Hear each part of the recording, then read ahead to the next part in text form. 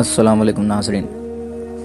मेरा नाम है मोहम्मद कलीम और आप देख रहे हैं मल्टी ब्लॉग्स विद फिजा। जब से इंसान वजूद में आया है, अल्लाह रब्बुल इज़्ज़त उसकी रहनुमाई के लिए उनके बीच से ही कोई ना कोई अपना नबी या नेक बंदा उनके बीच भेजता रहा है। ज़रूरी नहीं कि इंसान को ईमान और रिश्त हिदायत किसी नबी या हादी के ज़रिए ही मिले।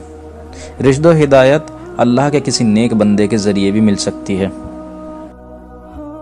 नाजरीन, आज हम एक ऐसी अल्लाह की नेक बंदी का तस्करा करने वाले हैं, जिनकी ज़िंदगी अल्लाह का एक मुजज़ा ही है। हज़रत राबिया बसरी हज़रत राबिया बसरी से, जो अलिया कामिलीन में से थी, किसी शख्स ने पूछा कि अल्लाह की तलब का रास्ता आपके हाथ कैसे लगा? यानी, खुदा की तलब की इब्तदा क्यों कर हुई? आपने फरमाया कि मैं सात बरस की थी कि बसरा में कहत पड़ा। मेरे माँ बाप की वफात हो गई और मेरी बहनें मुतफरक हो गई। और मुझे राबिया चौथी इसलिए कहते हैं कि मेरी तीन बहनें और थीं। जिस आदमी ने मुझे खरीदा था वो मुझसे बहुत काम लेता था। एक रोज़ मैं कोठे की छत से गिर पड़ी और मेरा हाथ टूट गया। मैंने अपना चेहरा ज़मीन पर रखा और अर्ज़ किया, बार खुद आया, मैं एक गरीब और यतीम लड़की हूँ। एक शख्स की कैद पड़ी, मुझ पर रहम फरमा, मैं तेरी रज़ा चाहती हूँ। अगर तू राज़ी है तो फिर मुझे कोई फ़िक्र नहीं। इसके जवाब में मैंने एक आवाज़ सुनी कि, ए ज़यीफ़ा गम्मत खा कि कल को तुझे एक ऐसा मर्तबा हासिल होगा कि मकरबान आसमान तुझको अच्छा जानने लगेगा।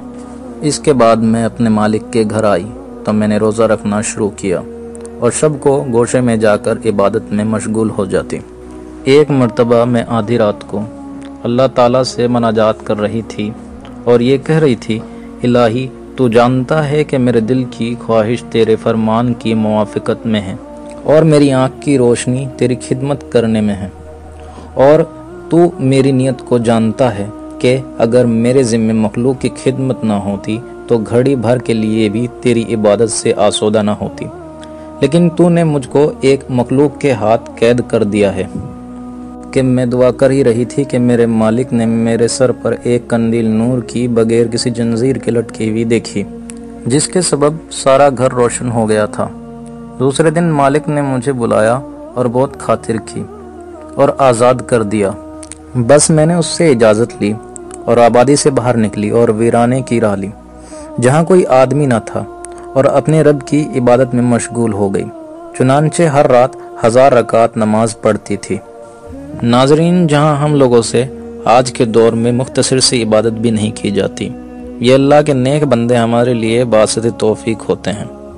और एक आईना जो हमें ये दिखाता है कि रब ने हमें जितना दिया है, हम उसके थोड़े से शुक्र उजार भी नहीं बन पाते। अल्लाह ताला हम सबको अमल साले करने की तोफ़ी अता फरमाए।